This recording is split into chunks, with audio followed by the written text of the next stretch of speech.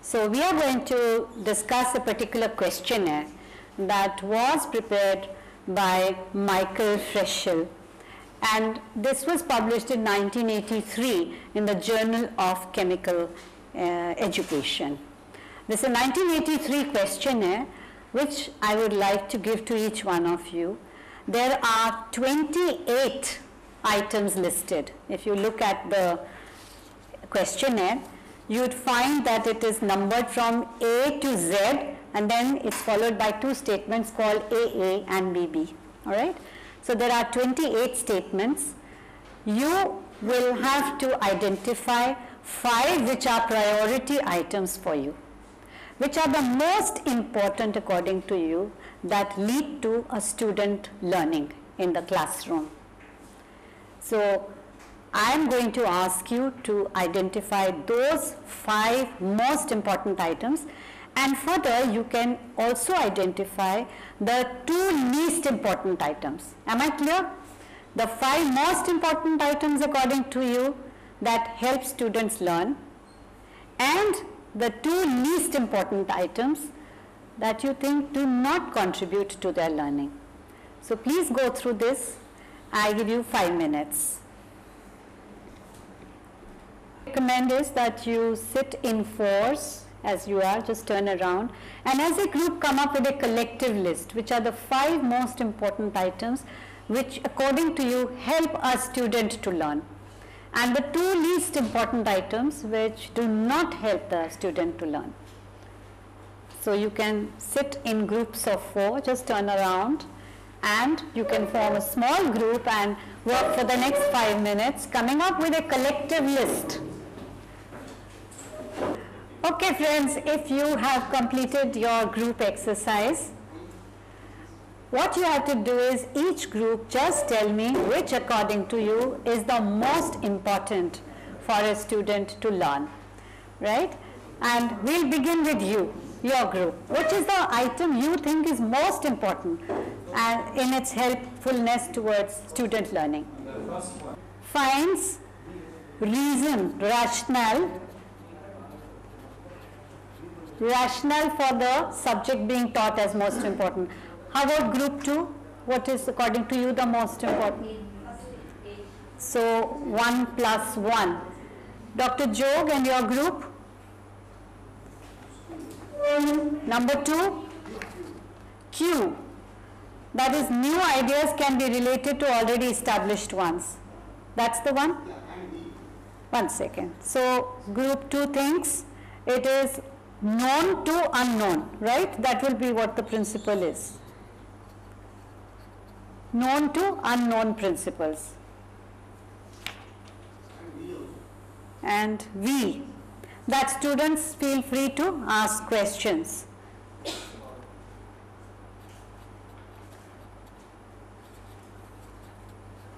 Okay, and group 3? So group 3 also believes that it is ask questions. That's the most important.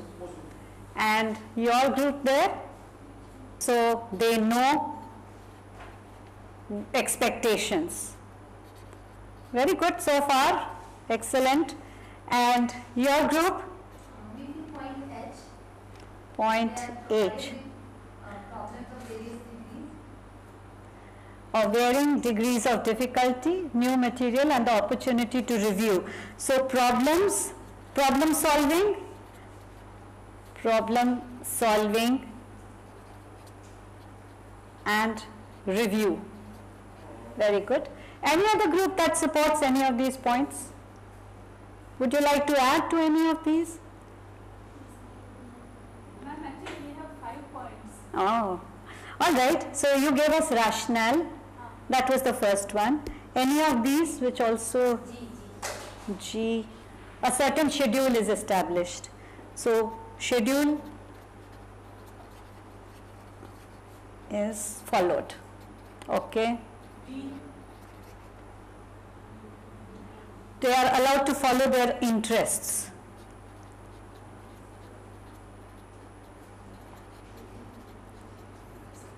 All right. Group 2 seems to have been very thorough in its homework. Yes, what else? Q, Q is Q. already there. Yes, Q is already there. Which is that one? Q is uh, number 2? Yes, okay. So that makes it 1 plus 1. Any other? Yes. Visual, demonstrations and verbal explanation.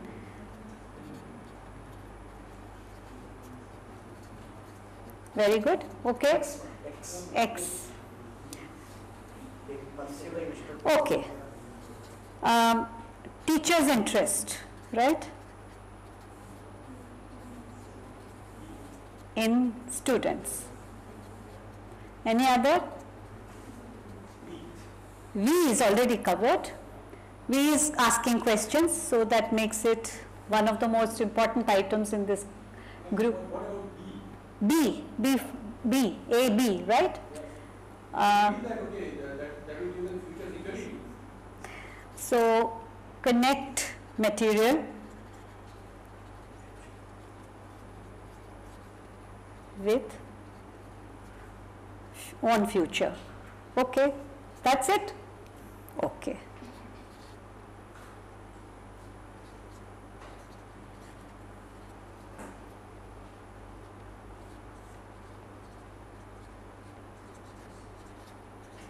Teacher is knowledgeable, right? Now, if you look at these, would you like to reorder them in any way or that's it? They occupy important levels for you all along. You mean to say in the order of preference? Yes, even in these 10, do you think you would like to give any one to? All right, I think we'll leave it at this because then it could get a little hard. I should give you the background of this questionnaire before I share what exactly happened. Uh, 107 teachers from Purdue University, chemical department, were asked to complete this questionnaire and 106 teachers from the California State University, Hayward. So about two, uh, 211 teachers completed this questionnaire and identified what according to them were the five most important items as helping students to learn and also the five least important. I deliberately changed that. Similarly, students were asked to complete this questionnaire and the student, now we don't have students here, so we have that limitation. It's difficult for us to compare, but what I would recommend is that this particular questionnaire, you don't even take it as it stands. You can design your own questionnaire in terms of what you think are the learning points and then administer it to students to see what they feel is according to them the priority. From that, we get to know what are our expectations of student learning and their expectations of what helps them learn. And if we can bridge that gap, I think it will be good for all of us. And it may happen that it varies from college to college. It may just happen.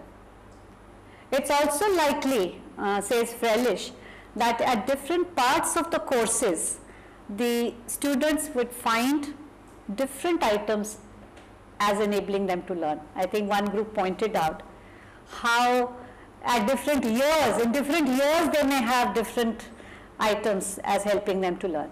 So these are only indicators, there is nothing final. At the same time, I also want to give a word of caution, which is that this was a result published in 1983. So it's copyright material, I don't want to distribute it.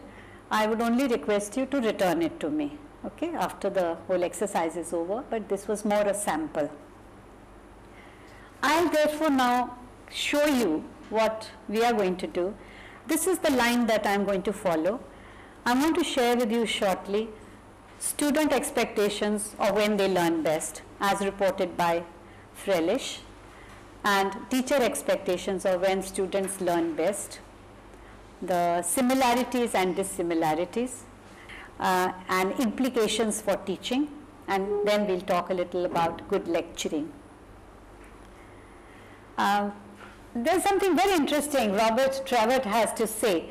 He says, we never thought of teaching effectiveness until students started enrolling for colleges. Until students started enrolling in colleges, we never thought of what is teaching effectiveness for the simple reason that good teachers just attracted good lot of students around them. So if you think back onto Grecian times when Socrates used to teach, we know what a great teacher he was until today people talk of the Socratian method of teaching.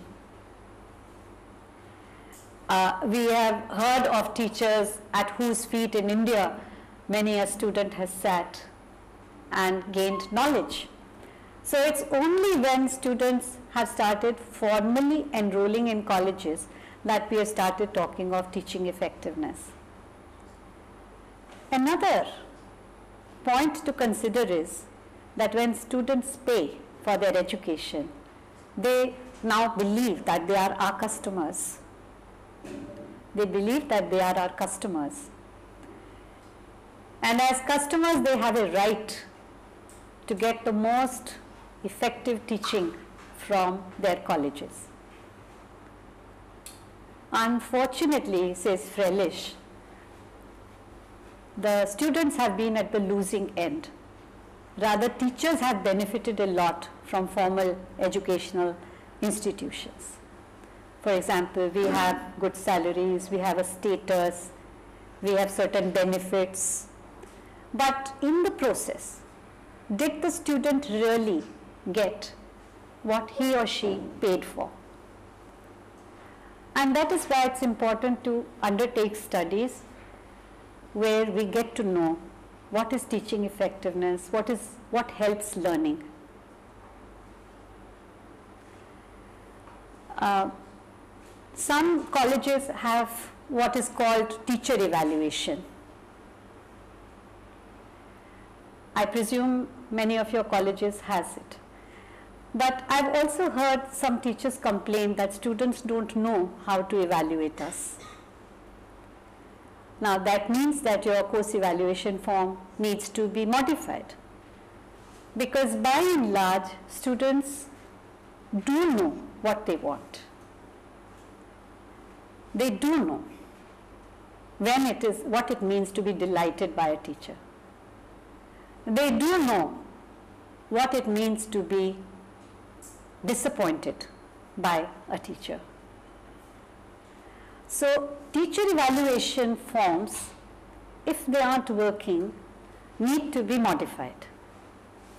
They can't be thrown out because that is important input to us in the improvement of our teaching styles as well as in the improvement of our courses. Indeed, one may even consider giving the evaluation form in the middle of a course to check how it is going. And in case we find that students have a certain sentiment, we could modify our course of action.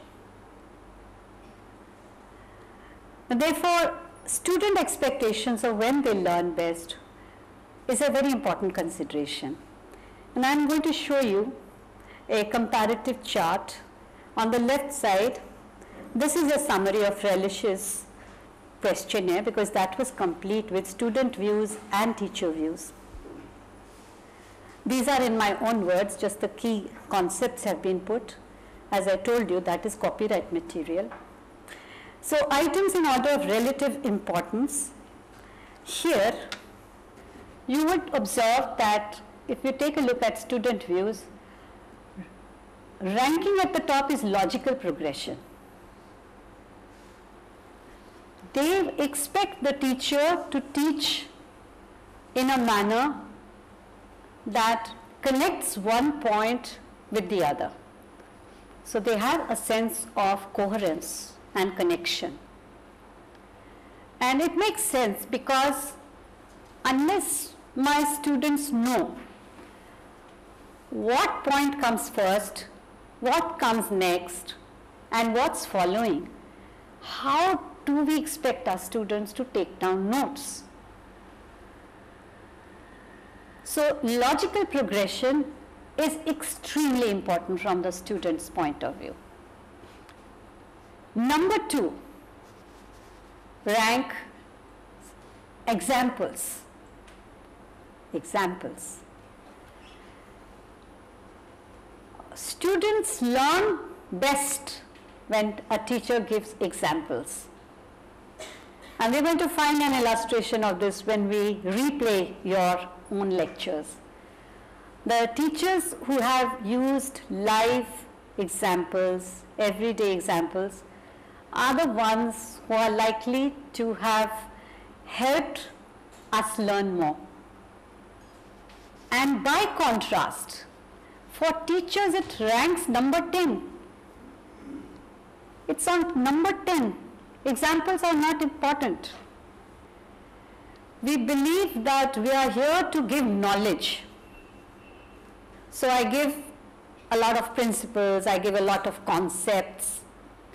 But when I don't exemplify what I am saying, my student does not connect with what I am teaching and hence doesn't learn. So look at the variance here, examples rank number 2 and for teachers they rank number 10, not at all that important. And if I may connect this with what Dr. Rangan Banerjee said to us this morning, that we teach in a mathematical analytical fashion. Engineering is taught in a mathematical analytical mode. We don't have the engineering sense. I would like to say that that is because of our educational system that we lack this sense, not because we are Indians. Now I'll explain this point. I'll take up Dr. Banerjee's own example of the car which needs repair. He sends it to the garage, but who repairs it? Not a PhD in engineering, but a young illiterate boy who has just done, or a, a young boy who has done some diploma.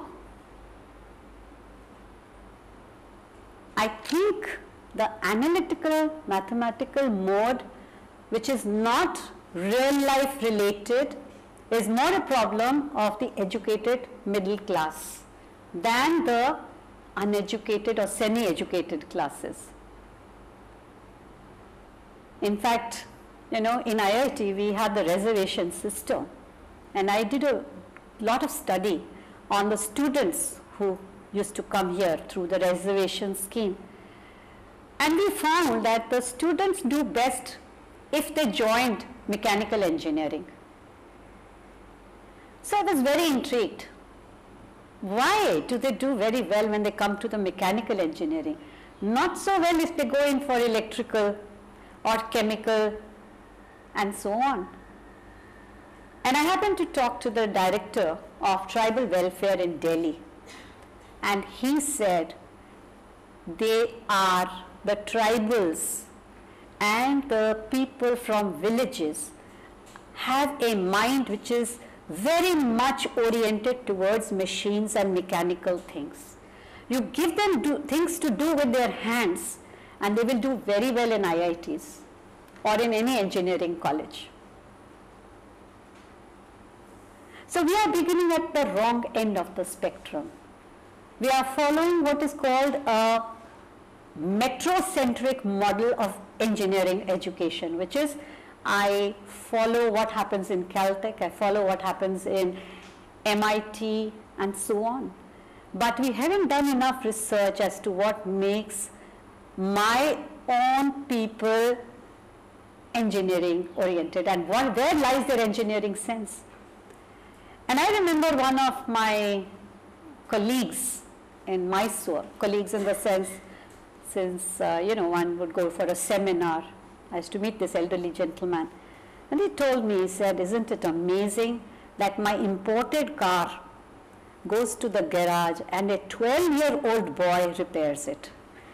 He is not educated. They are wonderful, he says, with machines. So it's not that we don't have an engineering sense, we have it, but not in the colleges. It's not taught in the colleges. Now part of this relates to our examples, lack of examples. we are teaching in the classroom without the engineering sense. And to us it is not important. And so it's not being generated.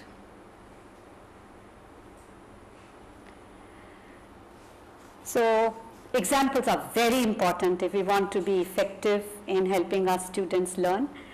Now here number 3 and 4 and you'll find that some numbers are listed on the same plane that happens both for students and teachers. Uh, they regard studying problems and prompt feedback as extremely crucial. So if you are giving them problems and we analyze those problems simultaneously, that is extremely important to students. So here teachers and students are both agreed.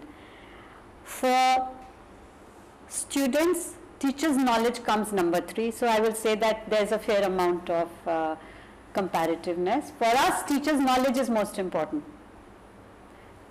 Yes, in a way, a teacher has to be 10 steps ahead of students. Uh, but today you realize that some of our students are 10 steps ahead of us sometimes. They are younger, they have access to internet, they are far more internet savvy, they are technology savvy, they have many ways in which to get the knowledge that they need and they are well read also in many a case. In fact, many of the computer games that they play show them to be far more techno savvy than you and I are. Uh, like I have found many uh, teachers would be hesitant to repair a switch or to use PowerPoint technology, but our students are very adept at it. Many of us would give our students and ask them to make the PowerPoint for us, and they'll do a great job. But uh, we are one step behind. And uh, so teachers' knowledge also, uh, while we regard it as extremely important, needs to be 10 steps ahead of our students. And, um, but I want to also add that a teacher may be extremely knowledgeable and yet not very effective as a teacher. Would you agree? In fact, uh, I remember once a student saying, X is such a he knows so much, he is used to teaching PhD students, so he can't teach us at the first year. I think that's a very sad statement.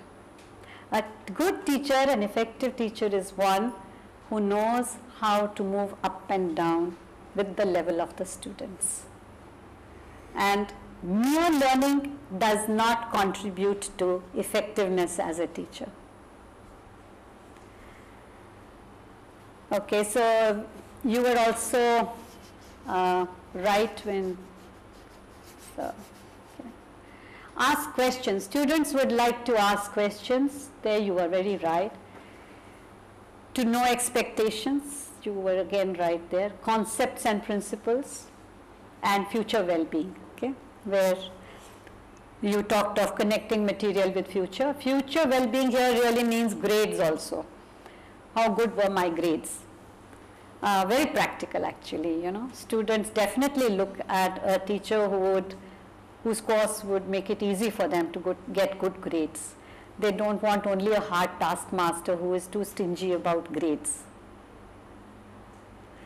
So they are concerned about their grades, their future well-being depends on it, the kind of jobs they get listed for, or if they are shortlisted in campus interviews will definitely depend on the kind of CPI that they have gathered.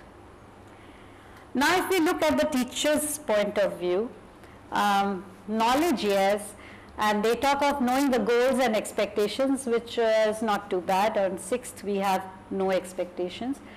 Uh, teacher is well organized, well organized but uh, we are not too sure if it means the same as logical progression.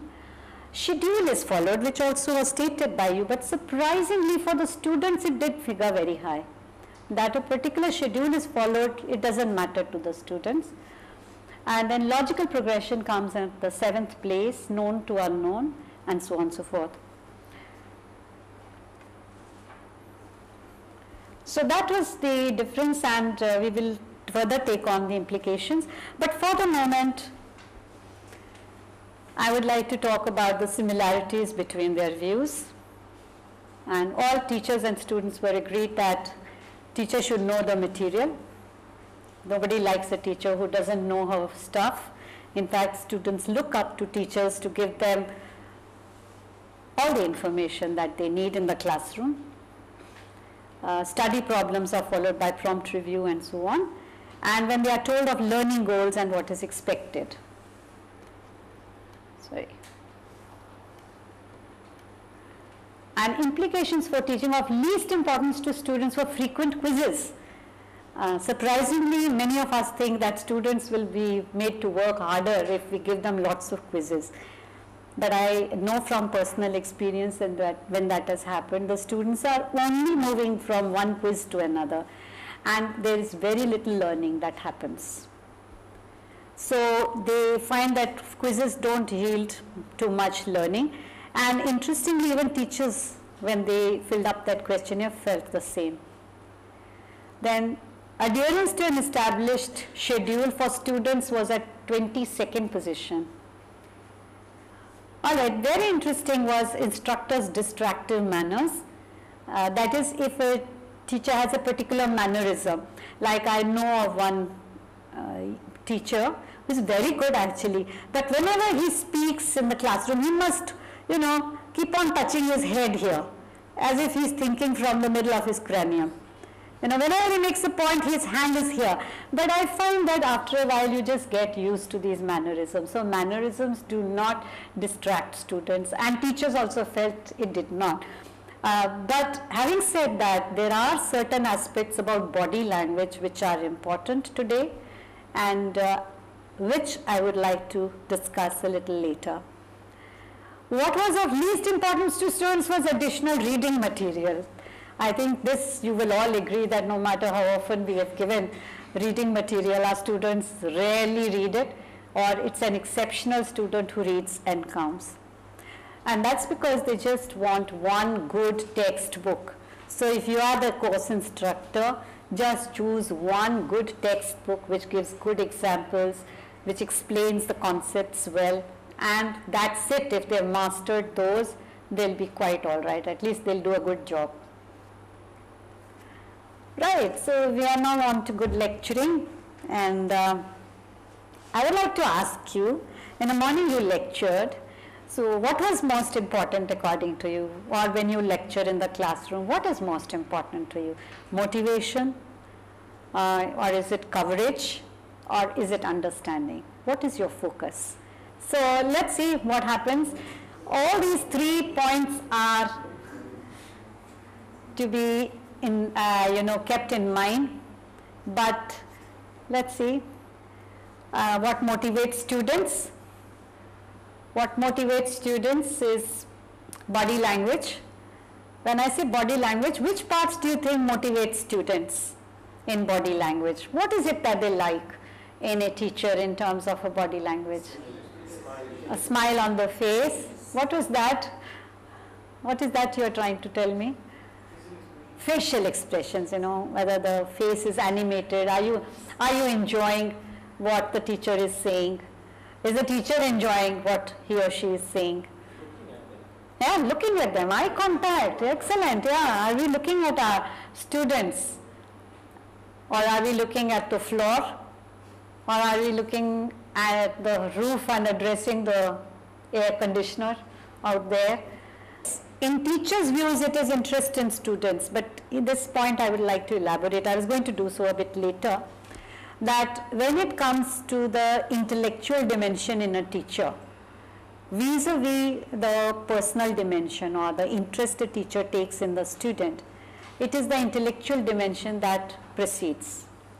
They will forgive a teacher who is cold towards them, strict with them, doesn't care for them or show that he or she cares for them as human beings, provided that teacher is very good in the classroom. They can forgive. They, they, in fact, they love that teacher because the teacher uh, is giving them the stuff that they want.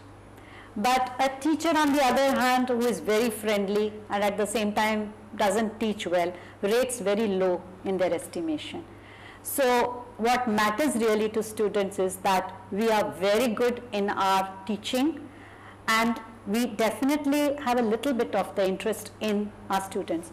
As I said earlier, this particular questionnaire and the results are dependent on another culture and it's now over 25 years old. But it seemed very interesting for me as a beginning point to make us think. And I would want us to modify this questionnaire and use it in your own classrooms and check out for you what is happening today. Whether interest in the student, how high is that?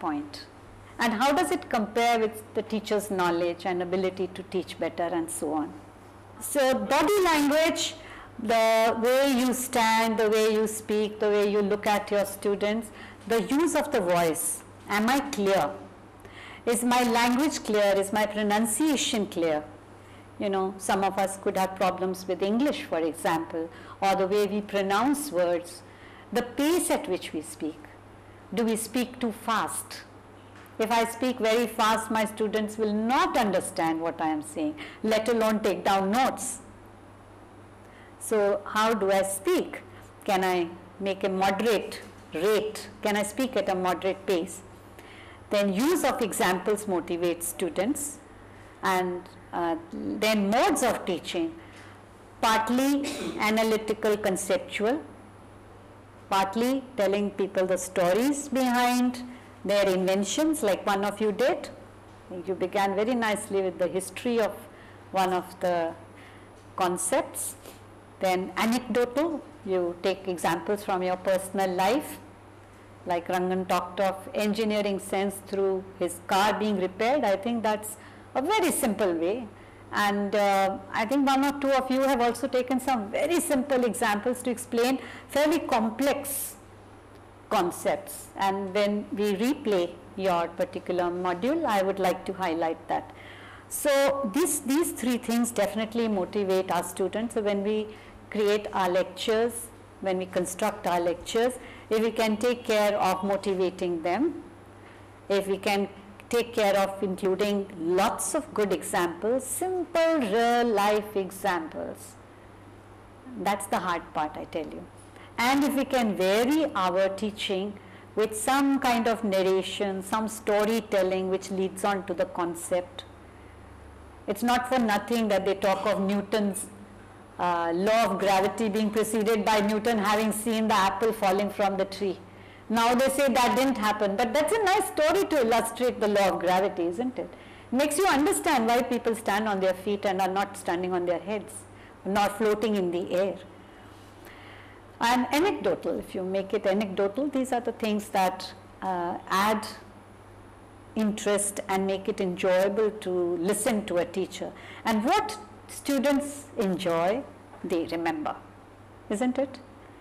We learn far better when we enjoy a session by our teacher. Would you, be, would you agree with me there?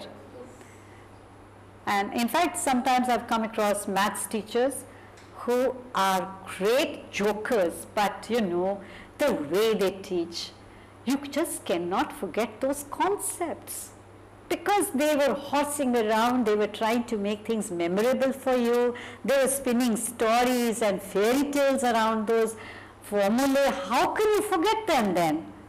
You just love those formulae because linked up with those formulae are the stories. And because you recall the stories, you recall the formulae. And so all these help motivate our students.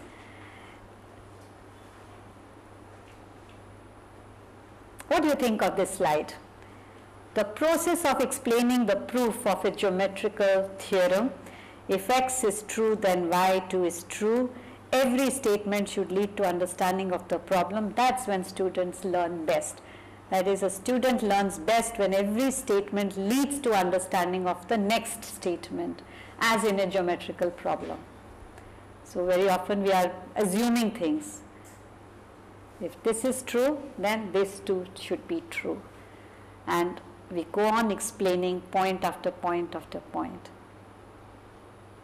How do we understand Pythagoras' theorem in standard 9 when you are just 14? It is the ability to link up each step beautifully with the next and make sense out of it. So this is what a good explanation is. It is one that leads to understanding not in me but in another A good explanation is one that leads to understanding in another. So it appears that the most important element in good teaching is helping our students to learn and understand. So I am now going to give you, this is how we are going to integrate our explanation. There is a structure. I am going to give you a structure in which we are going to fix motivation and we are going to have understanding and coverage of course. By contrast, I want to say this and you can correct me if I am wrong that I find that a large number of college teachers focus only on coverage. And whenever we tell them that you should and liven it up and do this and tell them stories and tell them jokes or tell them examples, their one patent answer is, where is the time? And how will I complete the portion? And I think this is very deadly. This is a very deadly statement to make. When I am focusing only on coverage, both motivation and understanding are sacrificed. I once went to a college where I was training them up for effective teaching and one young faculty he got up and he made a presentation where he listed 22 characteristics of a certain um, you know, a part of a concept, 22 characteristics. And he went at the speed of at least Deccan Queen, if not more, fast. And then I requested him, I said, see, these 22 items no student can remember. He could not accept my statement. He said, but a student has to know these 22 and I'm going to give them 20, all those 22. Let me give you as an illustration what I mean. Supposing I had given you this questionnaire and asked you to rank all the 28 statements, would you be, have been able to do it? It would have been very difficult. That's why I made it simpler. I said just rank the five most important and the two least important. And even then what I got was just the five most important. Two least I didn't get to that also. This is our structure, very simple structure. And what's this? You open in a friendly manner. Hello, how are we today? Not too tired today? Or I could begin with an example. Or I can ask you a provocative question to make you think. So it's a friendly opening. You begin in a friendly manner with your students. Very often we teachers think that the longer my face is when I meet them, the more my students are going to feel impressed with me or respect me.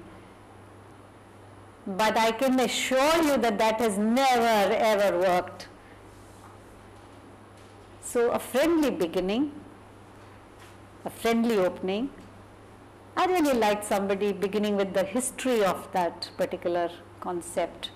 That was a good friendly opening at the same time leading to learning.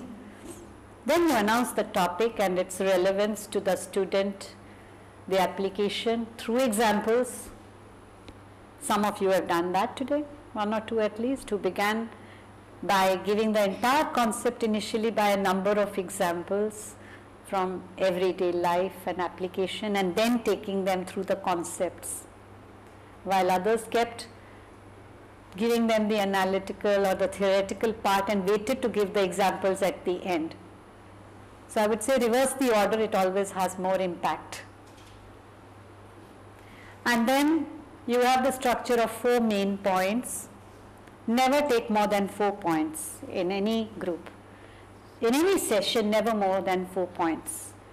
You can have sub points, but limit yourself to four points. And each point can begin with a good example, or you can tell them, and uh, you can have a graphic, you can tell them a story around that point, you can ask questions around that point. But take it from concrete to, to abstract. Move from concrete to abstract, not the other way around. We are not here to display our knowledge. We are here to help our students learn. It is as simple as that. And if my student can learn, then I am a delighted teacher and they think I am effective. And then the conclusion. Now, within this, I want to say one or two points. Always announce your outline that these are the points I am going to cover. Announce your outline. So similarly, when you are lecturing, please announce your structure that I am going to cover the following two, two points, three points, four points, or these are the four points, but today there are time constraints, so I am going to cover only two points. That's also all right.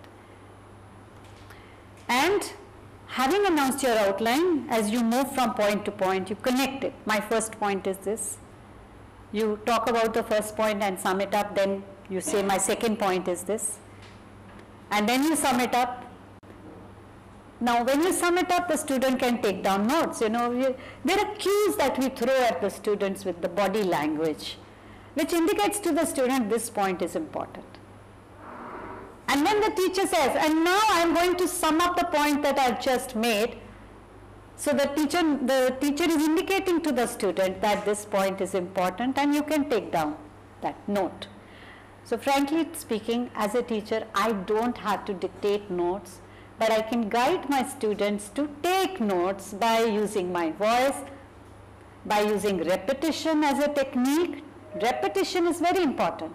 If I repeat something, my student is more likely to remember that point than if I just talk of it once. And now to create this structure, how do I compress 22 features or what I want to tell my students into four points. I'm just illustrating what the professor there insisted he would like to do. I'm going to show you a method. So you, you have 22 points, you have, or you look at your chapter, and you find it is strewn with ideas, okay? It has got so many subsections, and most of us would start the way the textbook starts. I start teaching it like this, and I go on like this, and I move like the textbook, linear. But if you look at your textbook chapter or any particular chapter that you wish to teach, you would find that there are some points that are similar to others which can be clubbed and classified.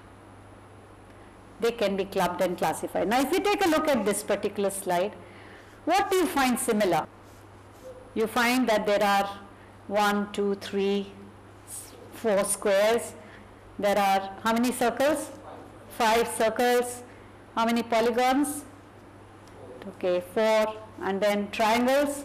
Three. Okay. So can I classify them? When I classify them like this, my students are likely to remember better. I've got my four main points. My 22 features get classified under four headings. This is easier for a student to remember and learn. What is not easy is that I just mix them up and teach them the way a textbook is written. Are you with me on this? Does this make sense? So classifying information according to similar and dissimilar enables us to focus better and the student remembers better. When I choose my points, there are certain principles we can use. Always try and explain the most important concepts. I think in the morning Rangan said something similar that in the classroom if you can teach the basics, even in engineering today, if our effort is to help our students master the basic concepts, basics don't change too much. The basics remain study for fairly, for a fairly number of years, long number of years. If you help your students master the concepts, basic concepts, as knowledge advances, they are able to draw that knowledge into those basics and integrate it. It's not difficult for them. But it's difficult for anybody whose basic concepts are weak to be able to gather new knowledge very easily or to update themselves. So first focus on teaching the most important points. Don't teach 22. Who has asked you to teach 22? 22 are not important. Just teach four or five important points. And if you have ignited the student's mind and interest, he or she will go and read many more on his own. The second is select a few interesting points. So make the class enjoyable. And very important, which is the very purpose of education, make your explanation thought provoking. Make them think. Which is our role as teachers. Our role as teachers is not coverage. Even in the syllabus, focus on the most important concepts and make your students think. If we have created thinking students, we have done a great deal for our college and our country. Because no educational system can ever be complete. We can only give the tools and the training to our students to be good hereafter and excellent. So if you have made thinking students, then they will innovate, they will create, and they will go far in life. And that's when we will really feel effective as teachers when our students come back as great innovators, as people who have created excellent products, as people who have made a mark in their profession and in personal life.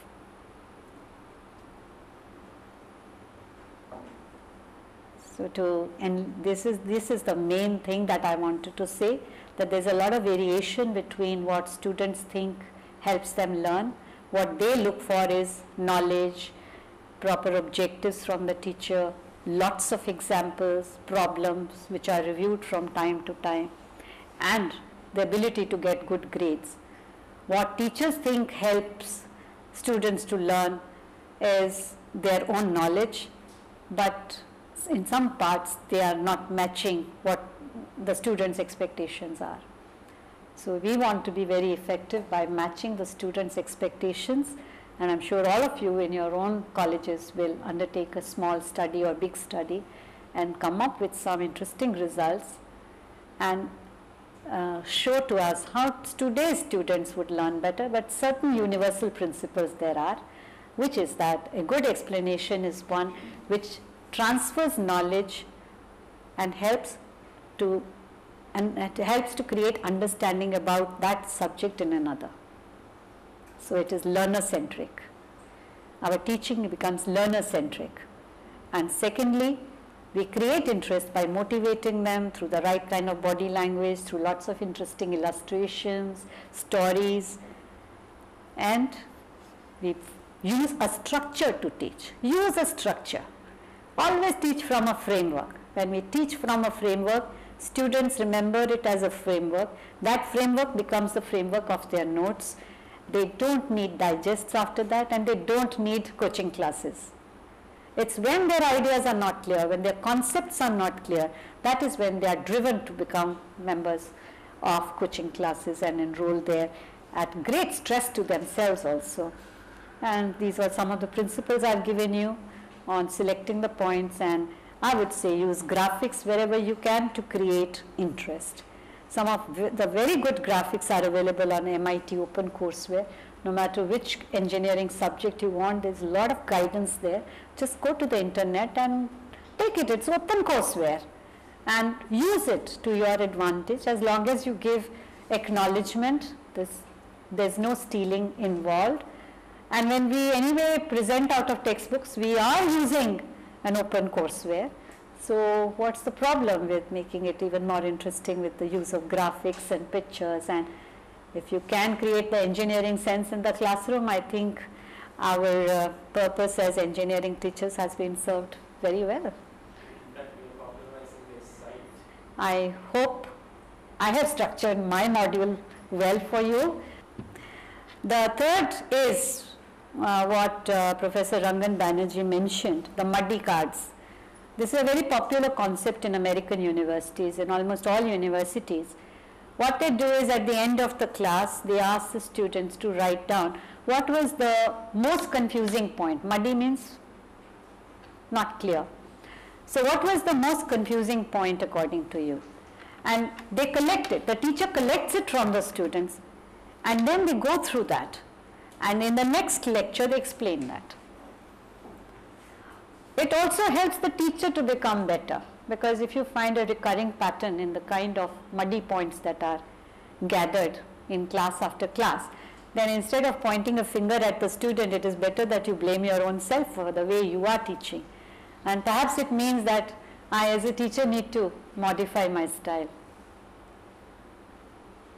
So if we teach in a structured manner, if we emphasize the main points, then I am very sure that the students will also take down the points fairly authentically. Basic intelligence they all have, they are very quick on the uptake. We talked of that in the morning. Engineering students definitely have a quicker grasp, there's no denying it. And so why should they not be able to take down notes if I as a teacher have been clear and if I have helped them identify what is important from unimportant. Thank you very much for being so interactive and uh, interesting to me.